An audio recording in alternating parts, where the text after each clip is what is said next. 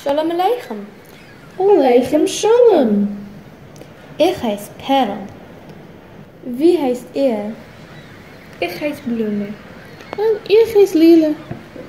Von wann kommst du, Perl? Ich komme von Bendigo. Und du? Ich komme von Sydney. Ich komme von Beijing. Oh, wahr. Wie viele Sprachen redest du? Ich rede Jiddisch und Mandarinisch und Arabisch. Emmes? Du redest Arabisch? Ich hab nicht gewusst. Ich rede euch Arabisch. Emes, von wann kommt deine Sprache? Mein Vater kommt von Polen und meine Mama kommt von Somalia. Oh, wahr. Meine Sprache kommt von Israel. Aber mein Papa wohnt in Polen. Wo war? Noch nicht müssen weiter.